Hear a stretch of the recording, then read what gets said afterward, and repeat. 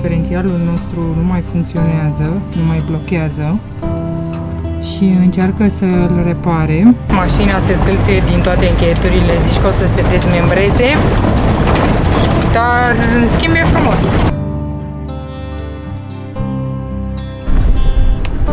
White truffles, ha? زبيدي هذا زبيدي سلك هذا زبيدي Tamam! اه اكل de câte ori în viață ai ocazia să dormi lângă un câmp de lavă, înconjurat de vulcani. Nu avem cuvinte, este cea mai frumoasă experiență din Arabia Saudită. Pentru mine e numărul 1.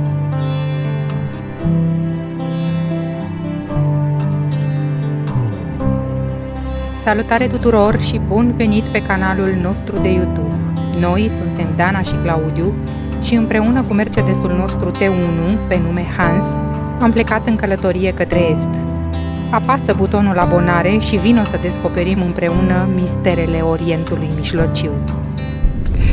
Salutare și bun venit la un nou vlog, la vlogul despre vulcani. Suntem la un crater care se numește Al Waba, are 250 de metri adâncime și 2 km în diametru. Pentru o lungă perioadă s-a presupus că acest crater a fost format datorită unui meteorit, datorită marginilor uh, înalte și formei rotunde pe care o are. Însă acum se crede că acest crater s-a format datorită exploziei create din întâlnirea cu pânza freatică și lava fierbinte.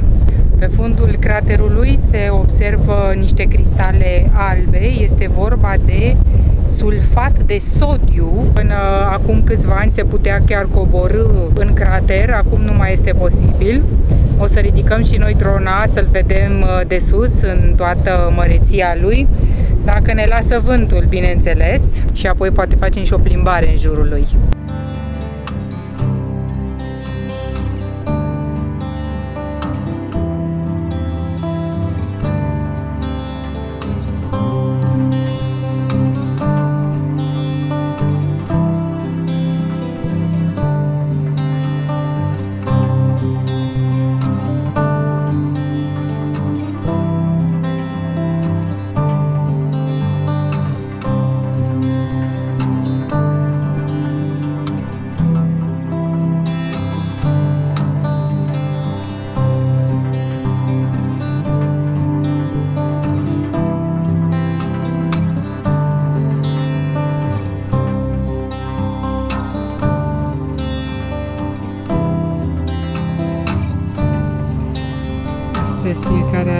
Lui personal.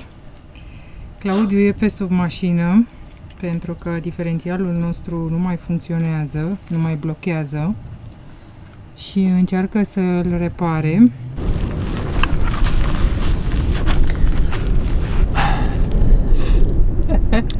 Așa arată un om muncitor. Aparent este un uh, reglaj la cilindru care acționează blocajul diferențialului și nu l-am luat în seamă data trecută când am umblat acolo.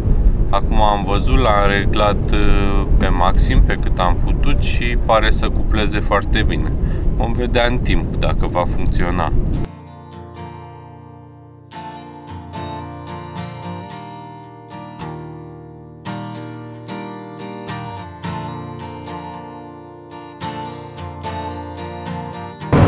De la crater, mergem în direcția Medina.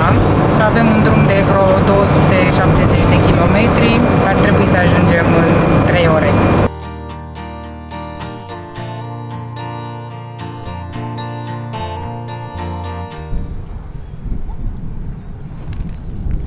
Astăzi e ziua când în sfârșit ar trebui să ajungem la vulcani. În curând o să ne punem în mișcare.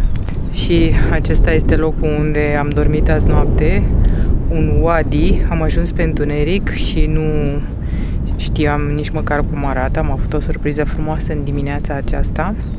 Suntem cu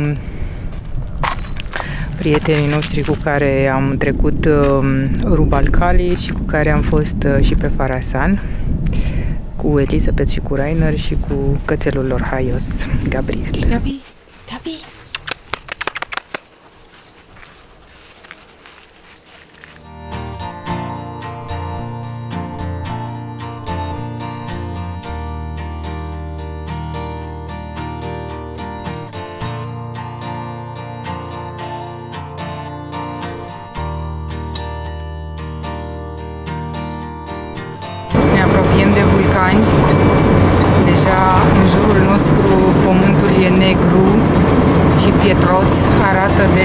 Parcă ar fi ars.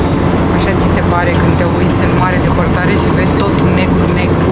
Și tot ce putem să sperăm este să reușim să ajungem la vulcanul acela unde ne propunem noi pentru că aparent drumul e greu și se pare că în ultima vreme au început să lucreze saudiții la un drum asfaltat. Pentru că în curând acești vulcani o să fie o atracție turistică și așa că construiesc un drum până acolo și va fi blocat, va fi cu barieră și va trebui să plătești. Da. E totul despre bani până la urmă și de aceea mai spun o dată că acesta este poate cel mai bun moment să vii în Arabia Saudită până când nu devine totul foarte comercial.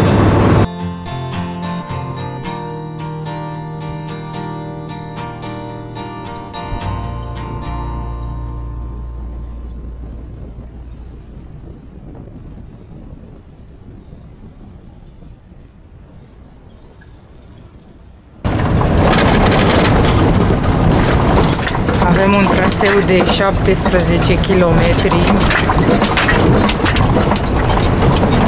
de teren accidentat, de denivelări și de nisip. Mașina se zgâlție din toate încheieturile, zici că o să se dezmembreze, dar în schimb e frumos.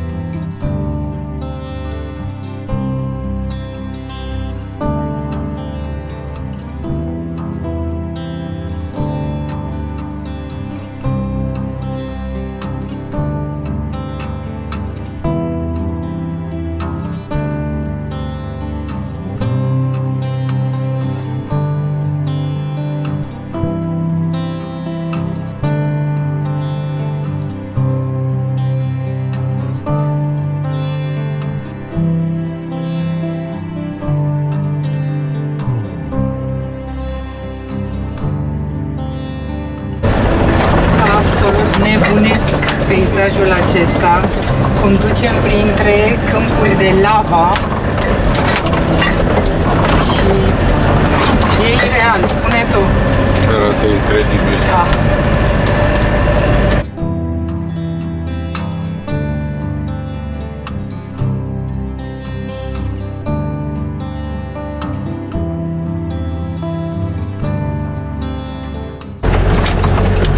aceștia caută trufe. Aparent aici există trufe albe.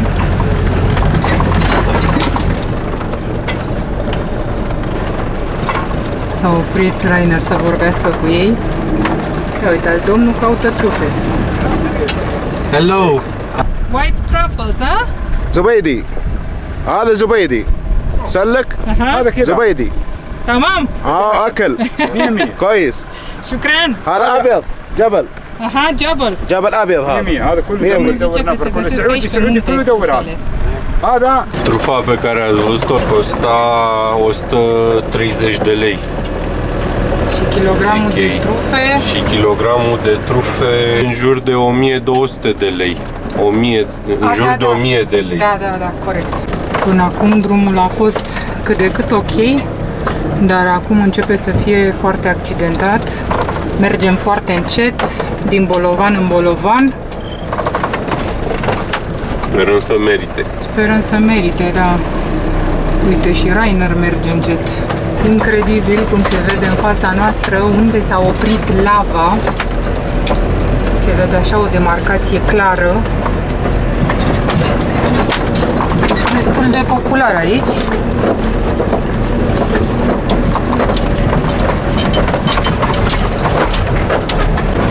E incredibil de frumos în jurul nostru. Avem muntele alb, cel pe care um, am venit să-l vedem și o mulțime de alți vulcani pe lângă noi. E totul verde. Muntele alb e plin de flori uh, mov și are așa o ușoară tentă de mov și cred că am venit în cea mai frumoasă perioadă a anului pentru că um, e tot înverzit și face așa un contrast uh, foarte puternic între uh, verdele plantelor și peisajul acesta vulcanic. Minunat! Gata, ne-am instalat. Uitați-vă un pic cum arată locul acesta. Gabi,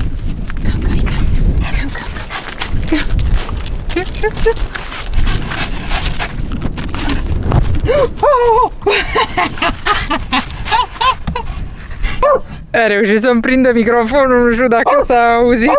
E fascinat de microfonul acesta. Da, Gabi. O să ne suim mâine pe Muntele Alp. E un crater acolo și probabil că o să încercăm să ridicăm și drona.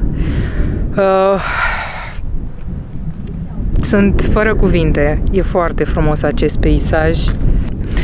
Cel puțin în noaptea aceasta o să stăm aici, apoi poate mergem la un alt vulcan, pentru că în platoul acesta sunt o mulțime.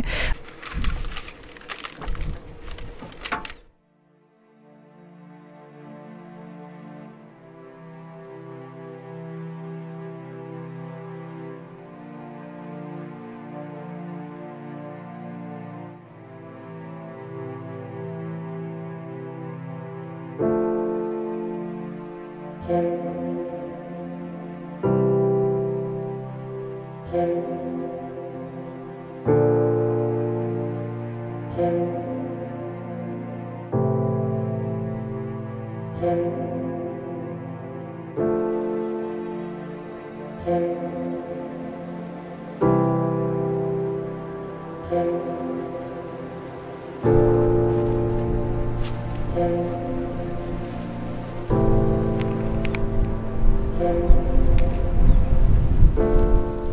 dimineața! Ne-am trezit în ceață astăzi. Vreau să plecăm în drumeție, dar momentan nu este posibil. Trebuie să așteptăm să se ridice ceața. Dar e tot frumos. Da. Și cu ceață.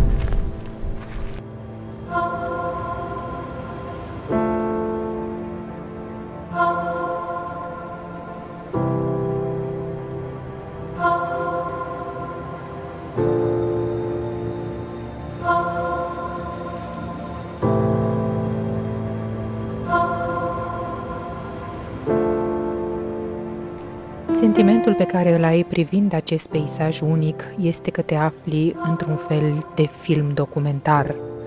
Vrem să știm mai multe despre vulcanii pe care îi vedem la picioarele noastre și aflăm că jumătatea vestică a peninsulei arabice conține câmpuri extinse de lavă cunoscute sub numele de Harat. Câmpul unde ne aflăm noi se numește Harat Kaibar are 1400 de kilometri pătrați și este situat la aproximativ 137 de kilometri nord-est de orașul Medina. Câmpul vulcanic a fost format de erupții în ultimii 5 milioane de ani. Cea mai recentă erupție înregistrată a avut loc între anii 600-700 era noastră. Vulcanul pe care ne-am cățărat noi se numește Jabal Abiad, are o înălțime de 1800 de metri și este o cupolă de lavă, adică o masă rotunjită de fluxuri de lavă mai groase și mai solidificate.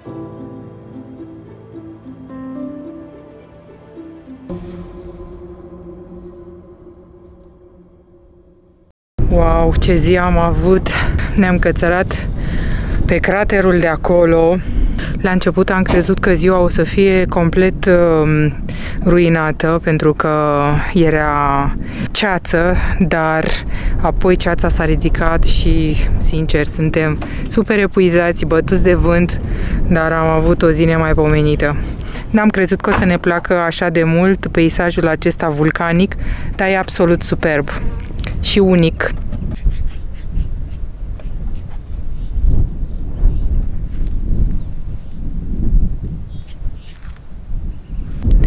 De câte ori în viață ai ocazia să dormi lângă un câmp de lavă, înconjurat de vulcani. Ce peisaj dramatic și ce perioadă am prins noi să vizităm această zonă vulcanică în timpul primăverii când totul e înflorit. Cred că e o ocazie unică în an. Chiar suntem norocoși.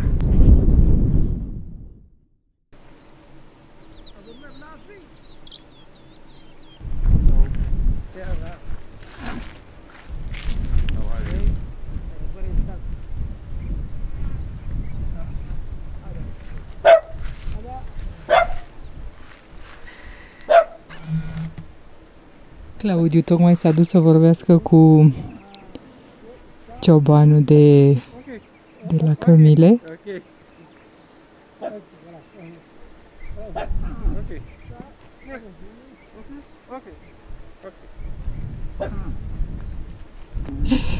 Ce vrea, să încarci și lui telefonul? Da.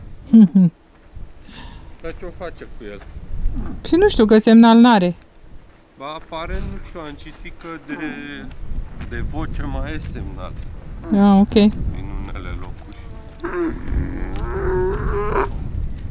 Nu ne-am putut desprinde de locul acesta astăzi. Să mai rămânem încă o zi. E prea frumos aici. Suntem înconjurați de cratere.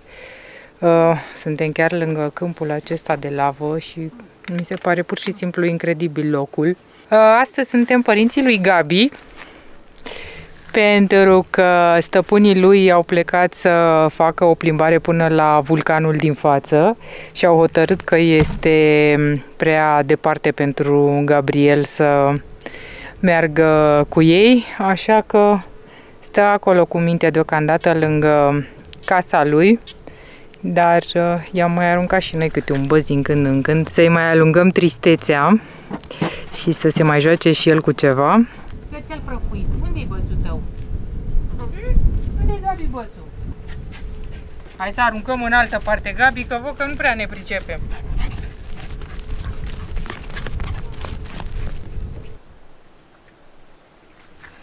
Toate cămilele se tăvălesc în praful acela, în nisipul acela. Evident, e ceva ce le place sau poate au nevoie. Și ciobanul așteaptă acolo jos să-i se încarce telefonul.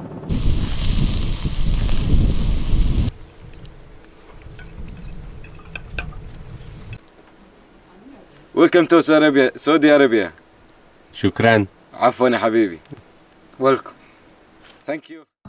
Aici ne luăm la revedere de la acest peisaj absolut incredibil. Am petrecut ultimele patru zile printre vulcani.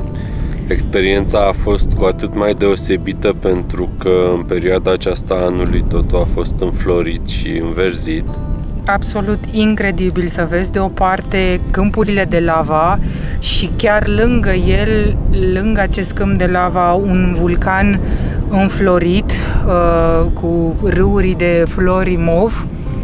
Nu avem cuvinte, este cea mai frumoasă experiență din Arabia Saudită. Totul este încă foarte sălbatic, nu este încă turistic și cu siguranță dacă ajungi în perioada următoare în Arabia Saudită trebuie să vii aici. Pentru mine e numărul 1. Dacă vii în Arabia Saudită, sincer, vino la vulcani, vino în perioada asta dacă poți, acum în mijloc de martie când e totul înflorit, pentru că e cu totul altceva. Pare că de zona aceasta nu știe nimeni, nu știu de ce, pentru că e incredibil de frumos.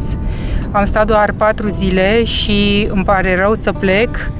Uh, suntem un pic răciți din cauza că a fost prea frig și arși de soare și bătuți de vânt, dar ce loc, ce loc, absolut incredibil. Vă lăsăm cu imaginile din dronă și sperăm că v-a plăcut la fel de mult cum ne-a plăcut nouă. Scrieți-ne în comentarii ce părere aveți de locul acesta. Pe data viitoare! Data viitoare